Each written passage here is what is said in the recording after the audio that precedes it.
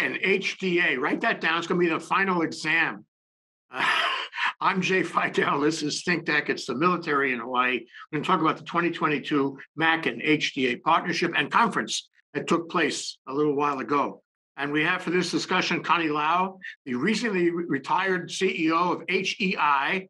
And she learned a lot in that period of time. And we're going to share all of that knowledge with you today. Welcome, Connie. And we have Jason Chung, who is uh, also a member of the MAC committee for the Chamber of Commerce. Um, and um, we're going to talk about you know this conference. We're going to talk about this partnership.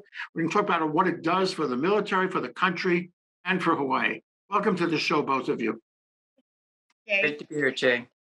So, uh, Connie, uh, let's start with you.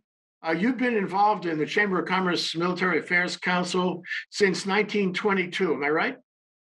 1922. oh my God, Jay. now, in that case, I can say I wasn't even born then. Tell us about how you got involved in it and what you what you've done for it and with it.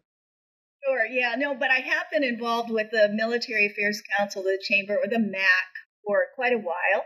And actually, the guy who got me involved is the current board chair of HEI, Admiral Tom Fargo.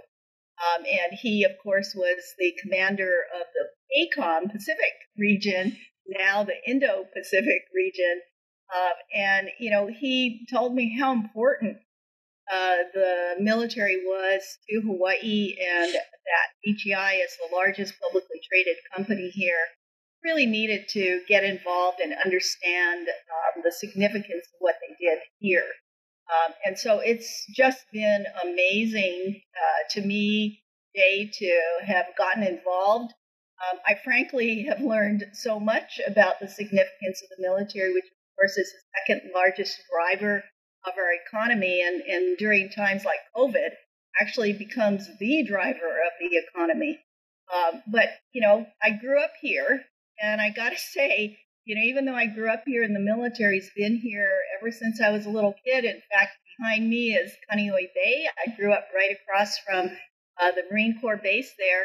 Um, I had no idea about the significance of what is done out of here. And also, you know, to Hawaii's advantage, there's a ton of investment that has been coming in from uh, Department of Defense and the federal government into Hawaii because of our very, very strategic location. Oh, you know, when when um, when I was a kid, uh, and I was a kid here, Connie. I not a not a young kid, but a kid nevertheless. Some people think I'm a kid now. Back in 1922, right? yeah, right. In the good old days, they talked about Hawaii's economy as a as a three-legged stool. Okay, one was one was agriculture, of course. Uh, one was hospitality, of course, and one was the military. Well, agriculture, you know, ain't what it was, and so we have two legs left. Um, we have um, hospitality, which is struggling right now, but but still a, an important important uh, part of our economy. Um, and we have the military. And I wonder if you could comment on that on exactly uh, how the trajectory has been uh, since, uh, say, statehood uh, in terms of that particular leg of the stool. Has it gone up? Has it gone down? Has it gone sideways? And where is it going? Yeah, so um, Jay, maybe I could start a little bit earlier, or not earlier, but later than that, um, because it's quite uh, clear with the whole pivot to the Pacific and how important this region is. I think there's a lot of people who talk about the Indo Pacific region as being the most consequential uh, for the United States because, of course, it has some of the largest economies. It's got um, some of the largest armies in the area, and it's got our largest adversaries. Um, and we know who, all of uh, who those are and how concerned um, everyone is about it, including the general public, when you start talking about uh, issues like um, potential cyber warfare. Um, and so that's the reason why I talked about uh, all the incoming investment into Hawaii to help ensure uh, national security, but also that really benefits Hawaii because we um, automatically benefit by getting a much more secure location here in the Pacific. Um, what are the, it, you know, you we're here to talk about the partnership uh, conference, and it's interesting that this is the first year that it is not only the MAC partnership contra- conference, but also the Hawaii Defense Alliance or HDA um, partnership conference. And the reason for that is that uh, as more and more investment is coming in here, um, it's bringing very high, it's bringing jobs that require a high amount of expertise and also, thankfully, pay very good compensation. And so, what the MAC has done uh, under a grant from DBED is to look at really build, building out uh, the um, uh, job pipeline here in Hawaii to ensure that some of these great jobs that are coming in uh, don't just go to um, you know people that are brought in from the mainland or wherever because we don't have the skill sets here in Hawaii.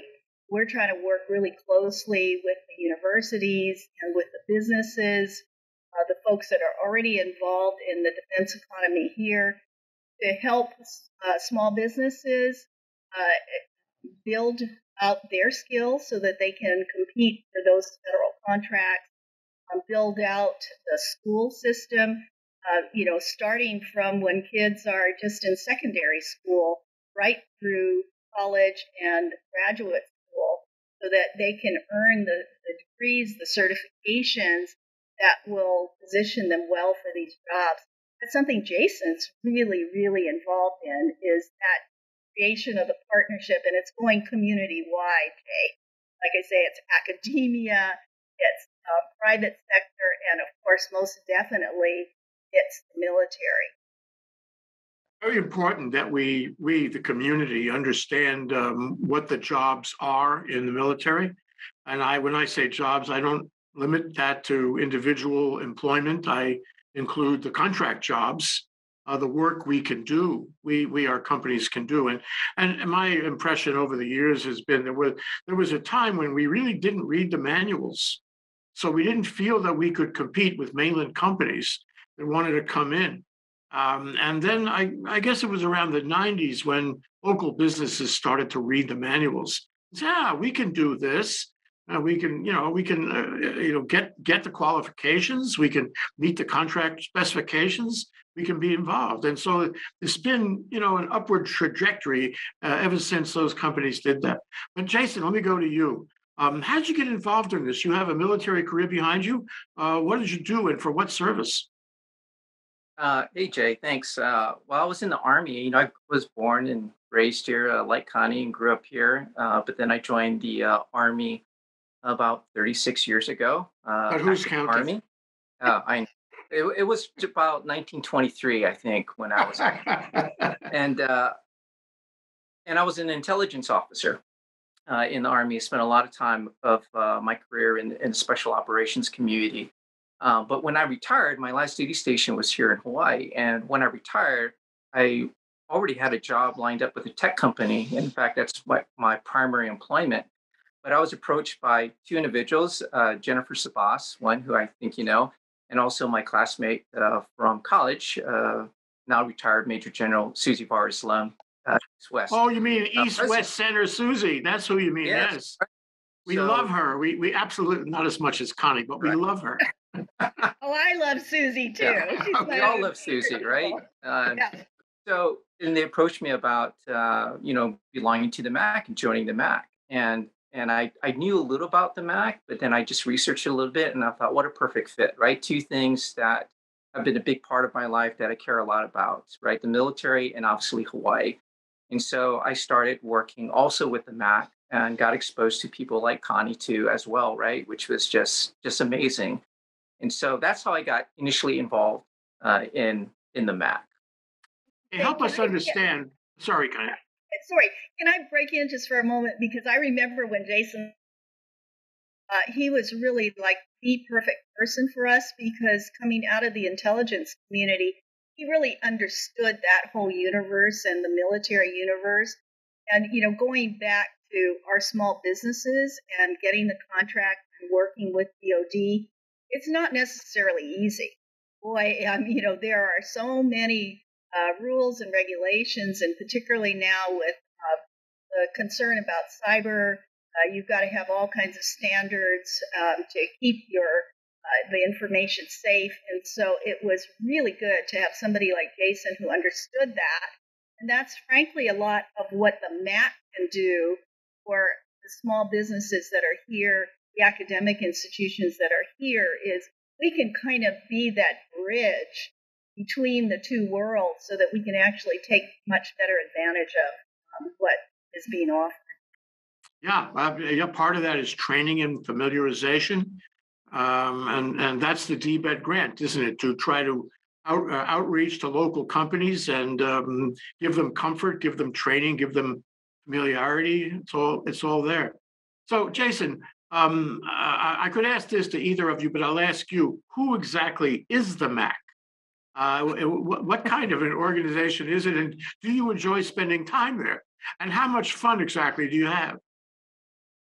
Well, yeah, ton of fun. I mean, uh, you know, two of your favorite people, right? Connie Lau and and, uh, and Susie Vares Lum, you know, uh, are members of the MAC, and so you know, being being associated with with professionals like that um, is just extremely rewarding. You know, from a professional standpoint as well as a personal standpoint. But to get to your question about who is the MAC, right? So the MAC, if you look at it, it's a cross section of a lot of key stakeholders here in Hawaii. You have business leaders, right? So like Connie, um, other companies that are out there that are representative, and then you have your traditional uh, businesses that you would associate with the Department of Defense, like your Booz Allens, your Lockheed Martins, your Huntington Ingalls, et cetera. You have academia, right? Academic institutions who are part of it. You have uh, uh, folks from the CODELs and STAFFDELs that are members of it because they see the, the significant importance and this consequential relationship between Hawaii uh, and the military. You have the military, uh, and then you have community stakeholders um, folks from the community who realize the important role that the military plays uh, here in Hawaii and how important it is to kind of stay linked with what the military is doing. So, in a nutshell, that's basically the MAC, right? It's uh, a group of really key stakeholders that come together to advocate uh, for the military here in Hawaii, but also be kind of that um, element that links the military back to the community and gets it ingrained within the community and within from a cultural and partnership perspective as well. Yeah, I take it the, the forget MAC is state government. Sorry, well, let's yep. not forget state government too, because um, yes. uh, Senate President and Speaker, they all are uh, very involved, and uh, it, you know, it it it takes the village, and of course, uh, General Hara who's head of the Hawaii Department of Defense and also our National Guard here, is very, very active in the uh, MAC. Um, so it it it really spans the gamut, Jay. How many how many people? How many members? Oh, know, roughly, roughly. R- roughly, it's about eighty folks. Mm. Well, that's impressive. Yeah. So uh, let now let, let me compare that with the uh, HDA, the Hawaii Defense Alliance. I'm making a guess here. I'm guessing that the Hawaii Defense Alliance is more like the military players. Am I right?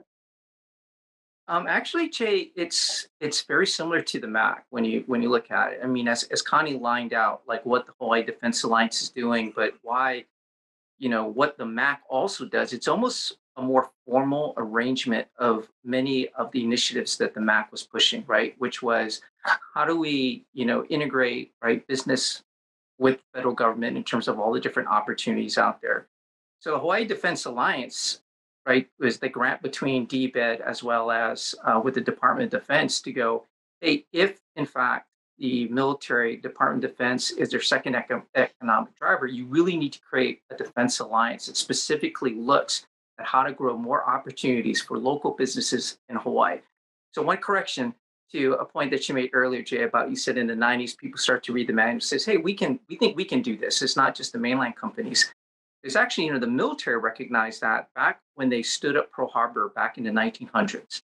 You know, when they stood up the, when they stood up Pearl Harbor, they start to realize, hey, we're having a difficult time getting these critical trades really to support the shipyard, right? Welders, um, you know, ship repair folks, um, pipe fitters, etc.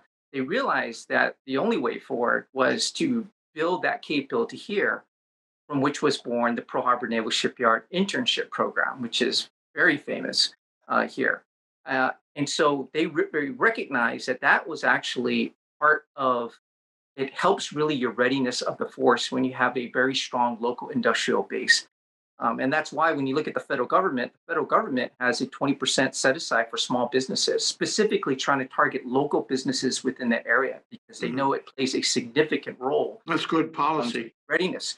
Correct, right? Because if you have the community there, you know, especially when you look at in Hawaii, you know, when Hawaii, because of the cost of living and some other things, if you're able to actually recruit people who are from Hawaii and want to live in Hawaii and know the expense and the, the other things associated with living in Hawaii, you're really able to kind of stabilize and have a much more uh, stable workforce than if you're constantly trying to hire and bring folks from the West Coast or from the East Coast. You know, and as Connie mentioned, there's a number of jobs now uh, that yes, Pearl Harbor is still the largest industrial employer here in Hawaii, but there's a, a really good um, data points that point that there's this new emerging industry that's primarily in this technical field. So that includes things like cyber, it includes things like intelligence, right? My former life, uh, data science, which is really huge, and just uh, information technology at large. In fact, we're calling it really the second Pearl Harbor in terms of the amount of jobs and opportunities that there are.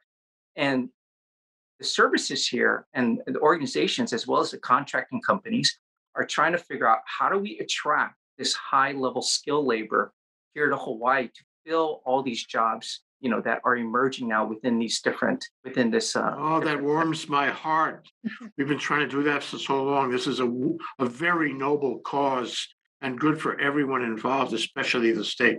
So, Connie, um, how much of this was discussed at the, the conference between the partnership of MAC and the Hawaii Defense Alliance in the first week of January? You had a big conference. Um, is what Jason is talking about, was that discussed? And, and if not, what else was discussed? So it totally was discussed and, and was uh, probably half of the conference, uh, Jay. So as I mentioned, normally it's just the MAC partnership conference. This is the first year that we had MAC and HDA because we really wanted to highlight the fact that there are these great jobs and there's a lot of work that's been going on to link our community to those jobs and build the pathways. Uh, so that was, in fact, almost the entire second day that went on. Um, on day one, we had our keynote speakers, and of course, we uh, uh, our kickoff speaker was Admiral Aquilino, the um, commander for uh, Indo-PACOM, who has his office up at uh, Camp Smith. Um, and then uh, from our own Hawaii National Guard and Hawaii Department of Defense, we had General Ken Hara. Um, and as you know, it was great to hear Kenny talk about how active forces were uh, during COVID because you know we saw them at the airports helping out with security. We helped, uh, we saw them at the vaccination clinics, uh, you name it. In addition to their uh, regular jobs, where some of them were deployed overseas, they were all they also went to the capital uh, in, in, D.C. to help uh, provide security there. Um, so they were our two kickoff speakers, and then we did uh, have some speakers on Red Hill uh, because, as we all know, that's a huge it's issue. It's been very hot, yeah. Yeah, very, very hot. Uh, and really important in those kinds of discussions to make sure that everybody really has a handle on what the facts are and what areas still need to be investigated so that we can determine what the real facts are. And then the folks that need to make the decisions can make good, sound decisions. Um, and, uh, you know, we talked about the other big issues like training leases.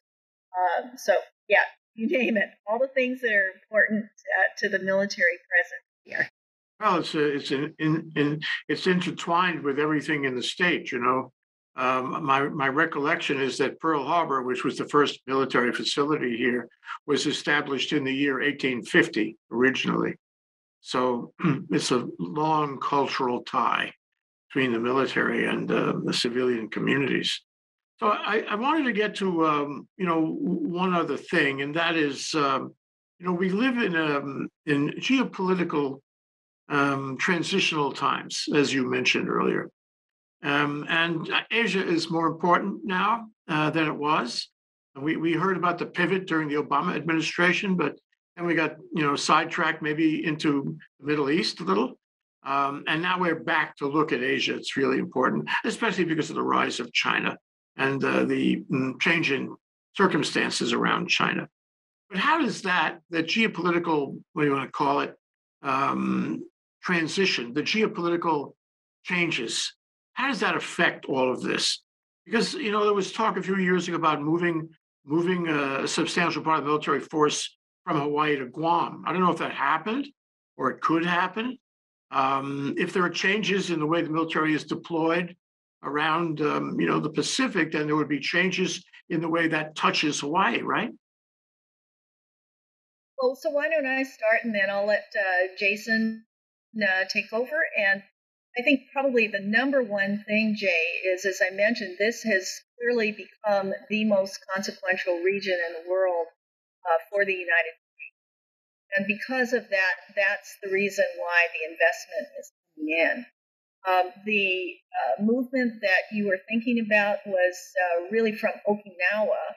The Marines were going to move out of Okinawa to Guam and Hawaii. And that has been happening, albeit at a slower pace than what people had originally thought. And that's primarily because uh, the infrastructure needs to be built out uh, in uh, places like Guam and Hawaii in order to uh, have those troop movements um, to those locations. Uh, but that is underway, and it is still the plan to have them come in. Uh, the one of the other major major shifts is, you know, everybody talks about um, asymmetric risk, and probably the biggest asymmetric risk is the change in warfare from the kinetic or physical war to uh, cyber warfare. Uh, so much easier to um, uh, um, uh, penetrate software systems and um, missile systems than it is to actually uh, take over that uh, weapon physically. and so that's why so much focus has gone into much more of these technical jobs.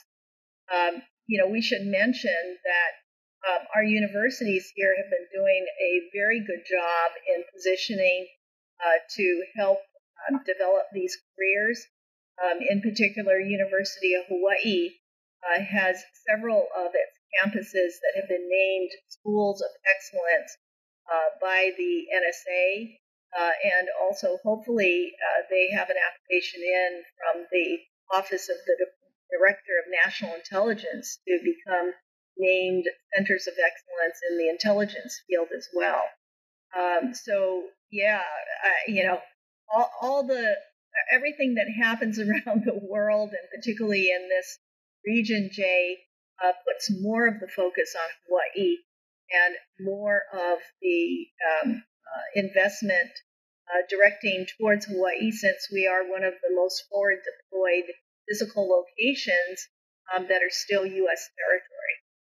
Uh, when, when, when you add um, Indo to PACOM, which happened a few years ago, how does that change the mission, the role of the military in Hawaii? Because it seems to me there's more geography involved, more issues, more geopolitical activity. Uh, how does that change things? You know, so I said I was going to let Jason have some a few words. So okay, well let's let's go to Jason. Yeah. I could see that Jason was winding up to answer that. I know. no, I mean that's a great question, Jay. I mean it's because it's the recognition of how significant India is to the region, right? Um, especially as you start to look at the trends that Connie had mentioned in terms of economies of scales, of militaries, um, economic flow of goods that go throughout the area and the region uh, and quite honestly, the expansion of China as it moves out into other areas with their One Belt One Road initiative, and it's really becomes you know how they start to really compete. It's not just asymmetric what Connie talked about. It's it's what's been termed as you know great power competition. It's using other instruments of national power. It's diplomacy. It's information, misinformation, disinformation.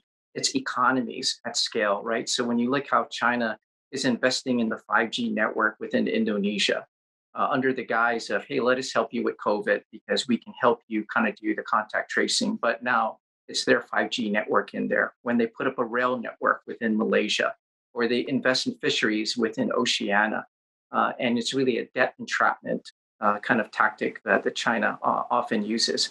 The other key component of that is is technology, right? So technology is good, and technology has also equaled the playing field. Because one thing that is really critical uh, when you talk about geography um, Jay, is that you know our military now, the United States military, is really no longer forward positioned, right? If you look a number of years back, we were forward positioned in key key areas. We had a lot of folks in Korea, in, in, in the east, because we saw that as a potential uh, significant threat. A lot eh, in Europe, but when you actually look at the at the forces that are there now, they're not that significant, right?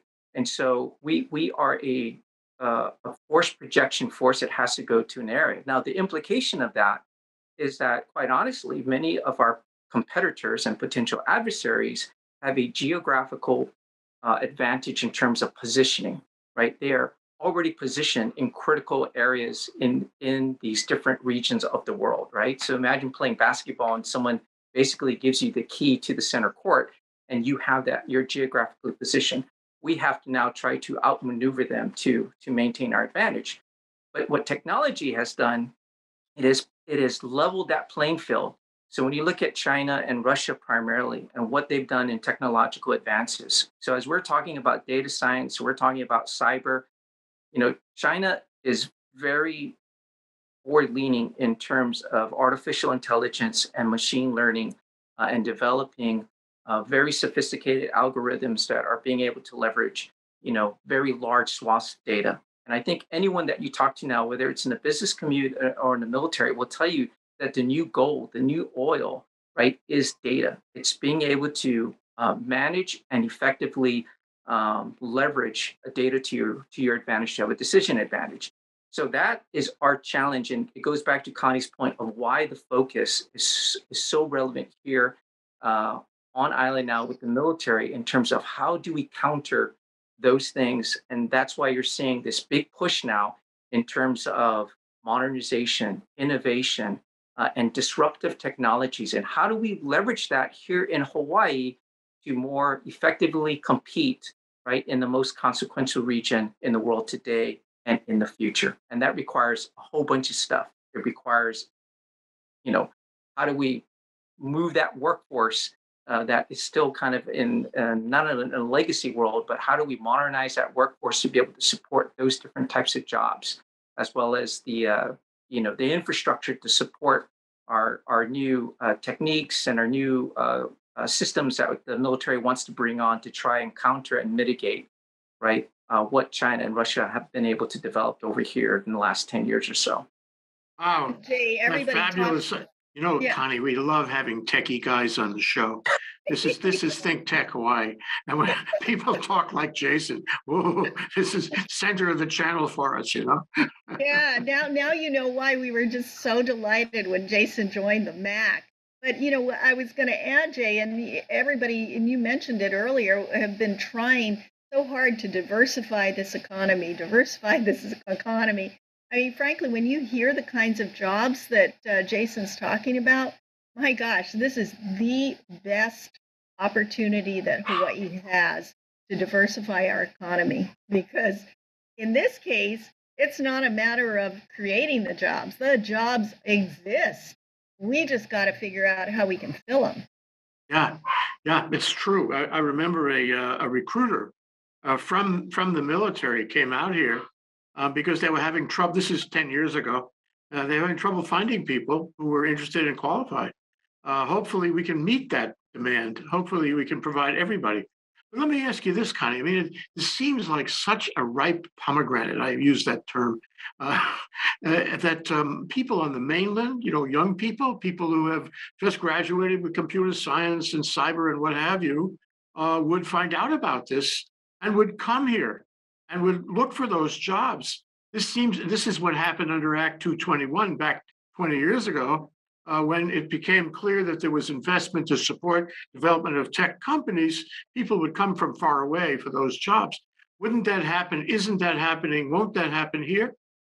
Yes, absolutely, Jay. Um, and that's the reason for this HDA effort, this Hawaii Defense Alliance, uh, to build that out and get the word out there. Um, but, you know, it's not just getting the word out there. I mean, we have to build the infrastructure, we have to build the programs, uh, we have to build the pathways so that when the people come, they can actually realize it and they can actually get into those jobs.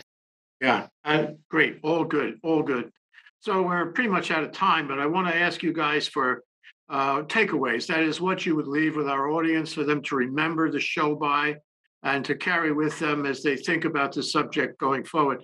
Because a lot of people do not know about the MAC or or the uh, HDA. They do not know what the military does. Uh, they uh, they may be carrying around negative feelings about it. Who knows? Um, but we we have to show them the way, and we have to teach them about it. We have to have more shows like this. That's why the military in Hawaii is here on Think Tech. You know, um, so I, would like you to, uh, Jason, you go first. I'd like you to, you know, give your message to the, the viewing audience. Tell them what you would like to uh, leave with them about this discussion. Thanks, Jay. I, I think it's what Connie said. We have a tremendous opportunity that's be, that right now uh, with all the available uh, opportunity that's out there, the, the, terrific partnership that we have throughout the MAC, the HDA with the state. We really need to take advantage of it right now. We're ha- we're just at the cusp of having the dialogues and discussions with all the key stakeholders, right? We're building those different programs that are going to kind of lead sector partnerships, workforce development, educational pathways that support all these technical uh, jobs that are up uh, coming up uh, because of what we talked about. Um, but we've got to seize the moment and we got to keep talking uh, and engaging and collaborating. Thanks. Connie, you are, you, you know, uh, been watching the business community in Hawaii, being a, a, part of it for so many years. You probably have a lot of thoughts about the future of our economy. Um, you know, Dan Inouye wanted this to happen. I'm sure he would be happy hearing this discussion. Hi, Dan. Uh, and I, I'm interested, so interested in how you see this unfolding going forward. How you see this this uh, second or third leg of the of the of the stool functioning, uh, the the trajectory of the military business connection under the MAC and under the HDA going forward. What's it going to do for us? What's it going to do for our economy? Well, I, think we've uh, we've already described how it's getting off to a really solid start with all the right players at the table, and that's what it takes. You know, it, it, it it's the old takes a village, um, and so I think we have the right players at the table. Um, we have the interest from everyone, and and you know, I hate to say this, but a lot of times they say it's all about self-interest.